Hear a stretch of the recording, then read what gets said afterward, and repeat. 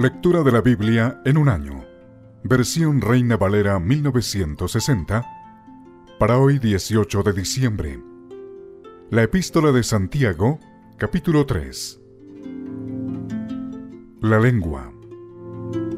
Hermanos míos, no os hagáis maestros muchos de vosotros, sabiendo que recibiremos mayor condenación, porque todos ofendemos muchas veces. Si alguno no ofende en palabra, este es varón perfecto, capaz también de refrenar todo el cuerpo. He aquí nosotros ponemos freno en la boca de los caballos para que nos obedezcan, y dirigimos así todo su cuerpo. Mirad también las naves, aunque tan grandes, y llevadas de impetuosos vientos, son gobernadas con un muy pequeño timón por donde el que las gobierna quiere. Así también la lengua es un miembro pequeño, pero se jacta de grandes cosas. He aquí, cuán grande bosque enciende un pequeño fuego. Y la lengua es un fuego, un mundo de maldad. La lengua está puesta entre nuestros miembros y contamina todo el cuerpo, e inflama la rueda de la creación, y ella misma es inflamada por el infierno. Porque toda naturaleza de bestias y de aves y de serpientes y de seres del mar se doma y ha sido domada por la naturaleza humana. Pero ningún hombre puede domar la lengua, que es un mal que no puede ser refrenado, llena de veneno mortal. Con ella bendecimos al Dios y Padre, y con ella maldecimos a los hombres, que están hechos a la semejanza de Dios. De una misma boca proceden bendición y maldición. Hermanos míos, esto no debe ser así. ¿Acaso alguna fuente hecha por una misma abertura agua dulce y amarga? Hermanos míos, ¿puede acaso la higuera producir aceitunas o la vid higos? Así también ninguna fuente puede dar agua salada y dulce. La sabiduría de lo alto. ¿Quién es sabio y entendido entre vosotros? Muestre por la buena conducta sus obras en sabia mansedumbre pero si tenéis celos amargos y contención en vuestro corazón, no os jactéis, ni mintáis contra la verdad, porque esta sabiduría no es la que desciende de lo alto, sino terrenal, animal, diabólica. Porque donde hay celos y contención, allí hay perturbación y toda obra perversa. Pero la sabiduría que es de lo alto es primeramente pura, después pacífica, amable, benigna, llena de misericordia y de buenos frutos, sin incertidumbre ni hipocresía. Y el fruto de justicia se siembra en paz para aquellos que hacen la paz. La epístola de Santiago, capítulo 4. La amistad con el mundo. ¿De dónde vienen las guerras y los pleitos entre vosotros? ¿No es de vuestras pasiones las cuales combaten en vuestros miembros? Codiciáis y no tenéis matáis y ardéis de envidia, y no podéis alcanzar. Combatís y lucháis, pero no tenéis lo que deseáis, porque no pedís. Pedís y no recibís, porque pedís mal para gastar en vuestros deleites. Oh almas adúlteras, ¿no sabéis que la amistad del mundo es enemistad contra Dios? Cualquiera, pues, que quiera ser amigo del mundo, se constituye enemigo de Dios. ¿O pensáis que la escritura dice en vano, el espíritu que Él ha hecho morar en nosotros nos anhela celosamente? Pero Él da mayor gracia. Por esto dice, Dios resiste a los soberbios y da gracia a los humildes. Someteos pues a Dios, resistid al diablo y huirá de vosotros. Acercaos a Dios, y Él se acercará a vosotros. Pecadores, limpiad las manos y vosotros, los de doble ánimo, purificad vuestros corazones.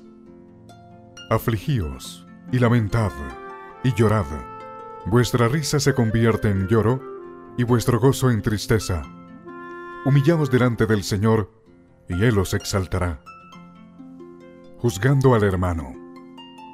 Hermanos, no murmuréis los unos de los otros. El que murmura del hermano y juzga a su hermano, murmura de la ley y juzga la ley. Pero si tú juzgas a la ley, no eres hacedor de la ley, sino juez. Uno solo es el dador de la ley, que puede salvar y perder. Pero tú, ¿quién eres para que juzgues a otro? no os gloriéis del día de mañana. Vamos ahora, los que decís, hoy y mañana iremos a tal ciudad, y estaremos allá un año, y traficaremos, y ganaremos, cuando no sabéis lo que será mañana. Porque, ¿qué es vuestra vida? Ciertamente es neblina que se aparece por un poco de tiempo, y luego se desvanece. En lugar de lo cual deberíais decir, si el Señor quiere, viviremos y haremos esto o aquello. Pero ahora os jactáis en vuestras soberbias. Toda jactancia semejante es mala. Y al que sabe hacer lo bueno y no lo hace, le es pecado. La epístola de Santiago, capítulo 5. Contra los ricos opresores. Vamos ahora, ricos, llorad y aullad por las miserias que os vendrán. Vuestras riquezas están podridas y vuestras ropas están comidas de polilla. Vuestro oro y plata están enmohecidos, y su moho testificará contra vosotros y devorará del todo vuestras carnes como fuego. Habéis acumulado tesoros para los días postreros. He aquí, clama el jornal de los obreros que han cosechado vuestras tierras, el cual por engaño no les ha sido pagado por vosotros. Y los clamores de los que habían cegado han entrado en los oídos del Señor de los ejércitos.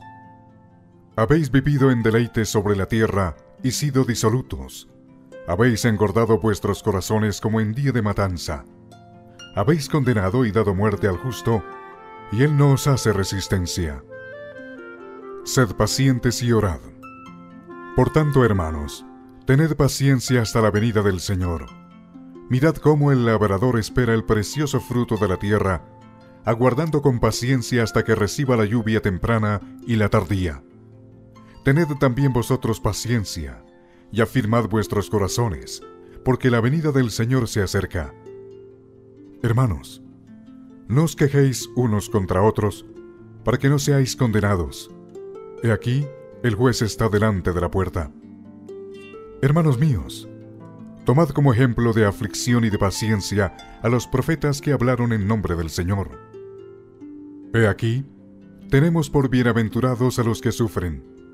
Habéis oído de la paciencia de Job, y habéis visto el fin del Señor, que el Señor es muy misericordioso y compasivo.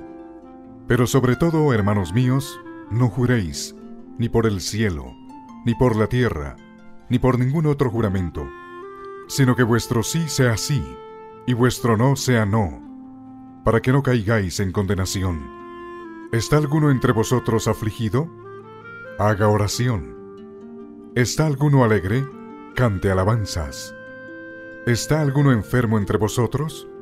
Llame a los ancianos de la iglesia y oren por él, ungiéndole con aceite en el nombre del Señor. Y la oración de fe salvará al enfermo, y el Señor lo levantará, y si hubiere cometido pecados, le serán perdonados. Confesaos vuestras ofensas unos a otros y orad unos por otros, para que seáis sanados. La oración eficaz del justo puede mucho. Elías era hombre sujeto a pasiones semejantes a las nuestras, y oró fervientemente para que no lloviese, y no llovió sobre la tierra por tres años y seis meses. Y otra vez oró, y el cielo dio lluvia, y la tierra produjo su fruto. Hermanos, si alguno de entre vosotros se ha extraviado de la verdad y alguno le hace volver, sepa que el que haga volver al pecador del error de su camino, salvará de muerte un alma y cubrirá multitud de pecados.